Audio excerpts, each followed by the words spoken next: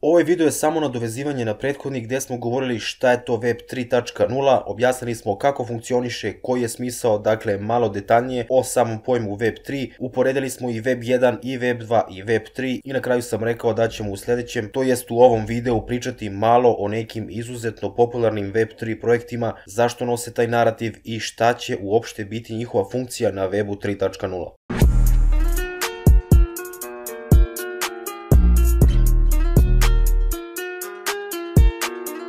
Dobrodošli na CryptoByte kanal, bacite odmah like i subscribe zbog podrške novom kanalu. Još jednom vas pozivam da pogledate prethodni video gdje smo pričali o samoj suštini pojma Web3, tako da nadam se da ste pogledali taj video pre ovog, a ako niste kliknite na link do tog klipa i obavezno bacite like. Dakle, na CoinMarketCapu već imate filter koji će vam automatski izlistati projekte, odnosno tokene i coine koji imaju Web3 narativ i koji sami sebe definišu kao pripadnike tog sektora, pa su u skladu s tim i svrstavaju tu.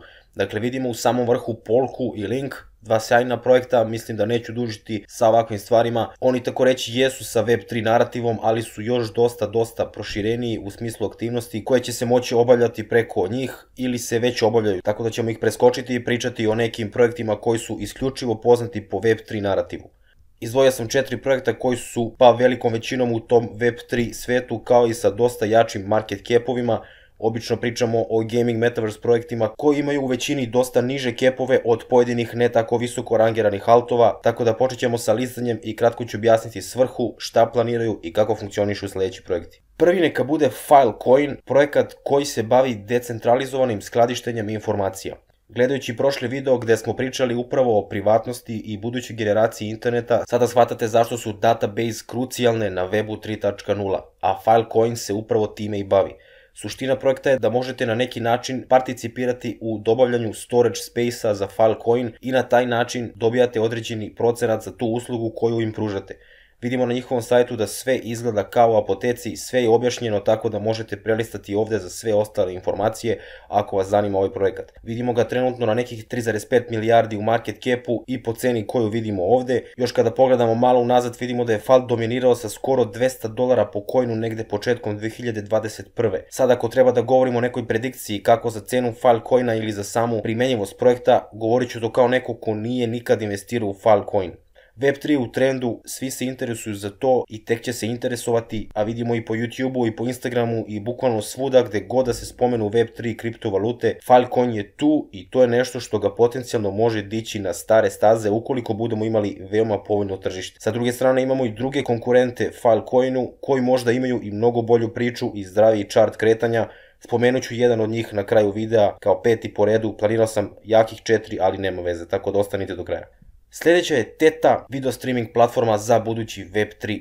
Projekat je lansiran u 2019. i glavni pokretač networka su upravo korisnici koji međusobno proširuju i dele mrežu upravo svojim računarima koji su na Teta networku i tako čine sam community network. Dakle, to je objašnjenje za ono što im piše na sajtu Powered by Users i Peer-to-Peer. -peer. Sad upravo zbog toga oni se hvale kako su najdemokratskija blockchain platforma, bla bla, ko prati Tetu verovatno je naišao na to, po meni klasične gluposti na koje ne treba da obraćate pažnju, ono što je bitno je da smisao projekta ima direktno pucanje na gaming, svi znamo šta decentralizovana video streaming platforma znači za gaming, tako da Teta ide u tom pravcu. I da napomenem da neće pokrivati samo gaming, već dosta širih stvari. Svako ko je na Teta networku može stekovati svoj Teta token, to je još jedna mogućnost pasivne zarade kod njih, tako da od Tete očekujem jako lepe stvari u budućnosti, a vidimo i chart ovde, dosta zdravi chart bez obzira što je u padu trenutno.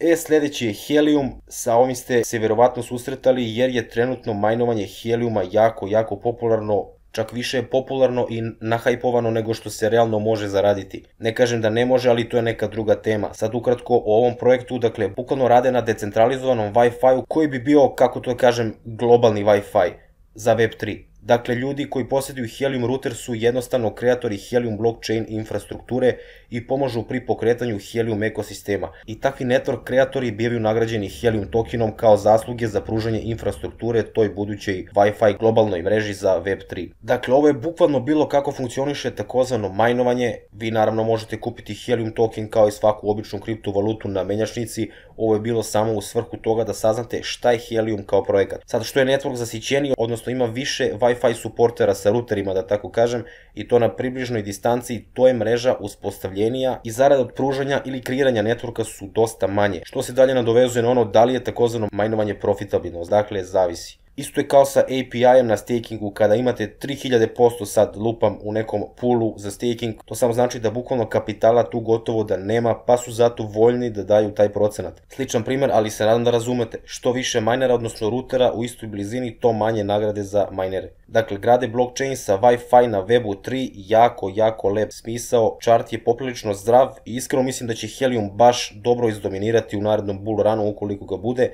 Nemam uloženo još uvek u Heliumu, ali prateći dosta stvari oko Heliuma šta se zbiva i kako radi, imam neki takav utisak koji mi da iskustvo do sada. Ocean protokol je sledeći. Malo niži market cap, ali smisao projekta je baš po Web3 narativu. Ocean je lansiran negde 2017. godine, dakle nije tako baš novija stvar na blockchainu, a sama smisao projekta je da pojedinci i biznisi, odnosno kompanije, mogu deliti svoje informacije i podatke potpuno anonimno, bez ugrožavanja svoje sigurnosti, autoriteta, reputacije i ostalih bitnih stvari. A sa druge strane, korisnici kojima trebaju nove informacije gde bi spadali naučnici, novinari, studenti, obično građanstvo, analitičari i tako dalje, mogu lako, brzo i anonimno dobiti te informacije koje su im potrebne i to zahvaljujući zahvaljujući Ocean protokolu i njihovoj decentralizovanoj platformi.